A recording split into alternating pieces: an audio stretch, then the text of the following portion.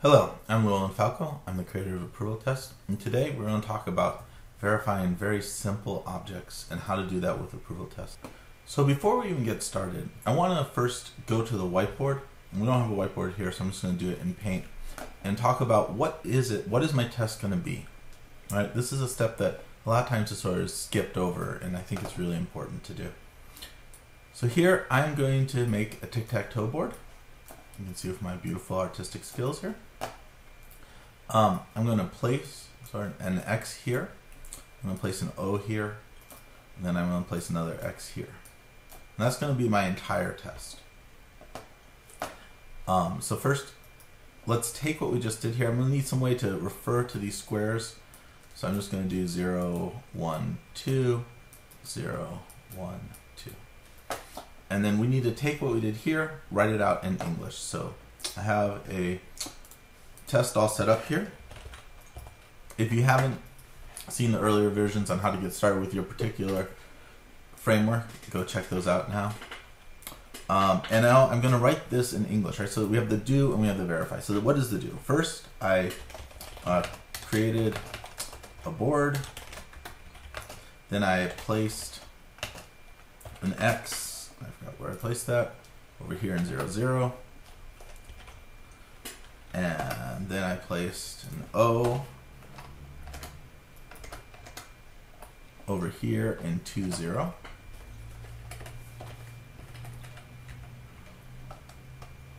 And then finally, I placed one more X here at 2, 2. And finally, what do I need to verify? I need to verify the board. Great, so now that I have the English, I'm going to turn this into code. So var b equals new tic-tac-toe board.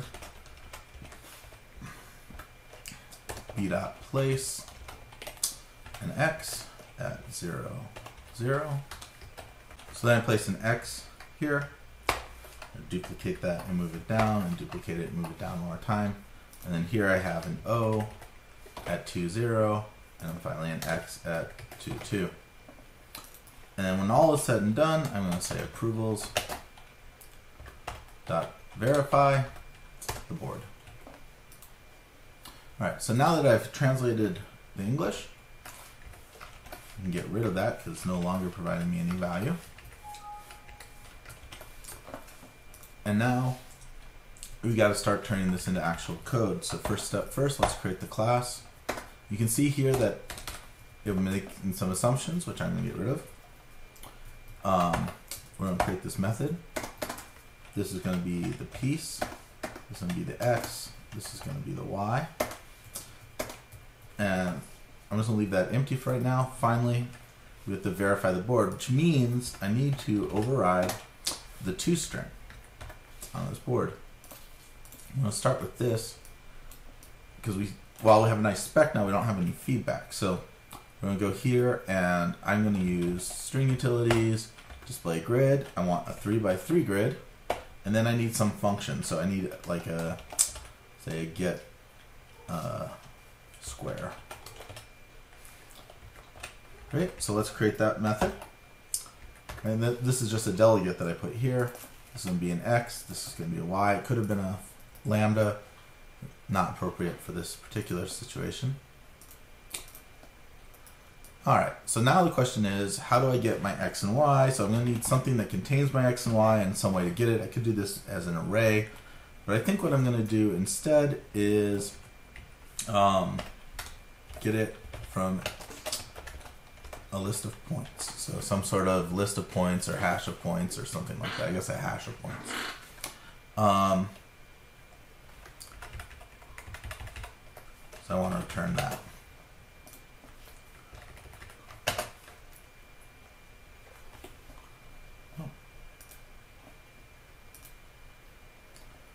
Reference drawing. So that I have point. And I'm actually going to hold this. Oh, you don't need to. Uh, so we're just going to get that out. Great, and that means I need to have this board thing. So I'm going to create a field. And this, of course, would be a dictionary of. And string.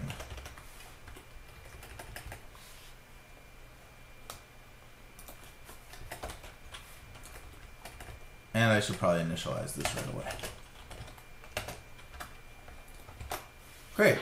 So, I haven't really gone very far in here yet, but I should be able to get a little bit of feedback. So I'm going to make sure that I've decorated here with the use reporter.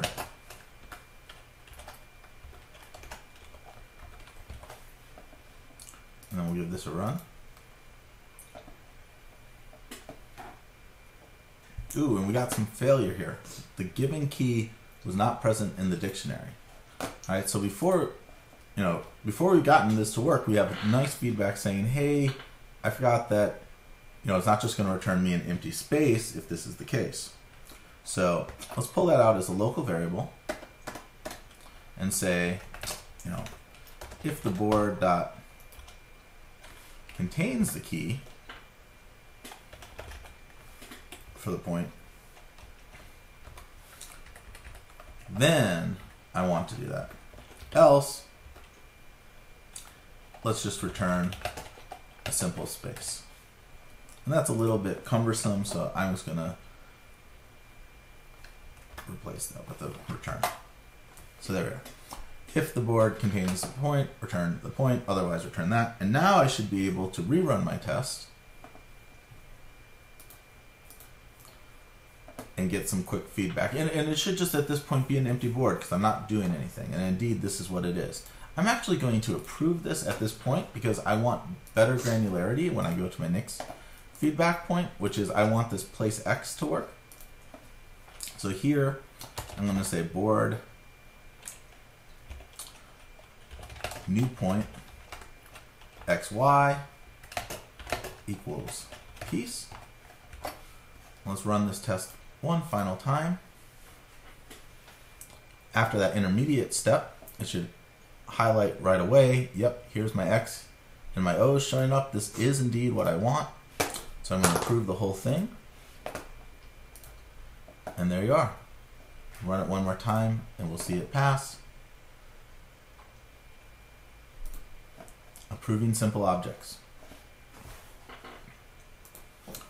So before I close, I want to highlight uh, Carl Manaster. Carl is a good friend. When I lived down in San Diego, we used to get together every Monday night and do programming for fun.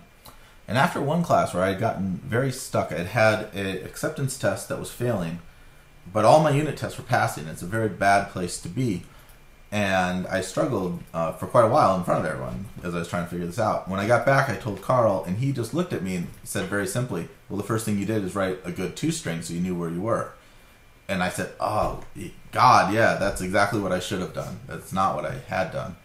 Um, and it was in through these Monday nights that I really came to an appreciation of being able to understand the state of your system well through sort of good toStrings and, and rich information. And, and it was that that eventually made me want to be able to actually verify that rich information directly. And it was actually with Carl on a Monday night that we made our very first inroads into approval tests at all, figuring out how to do the golden master comparisons and how to f- generate the files based on calls from underneath. So you can find him on Twitter, Carl Manaster. Thanks very much. And as always, if you have questions about approval tests, tweet with the hashtag approval test. I monitor that frequently and answer you promptly.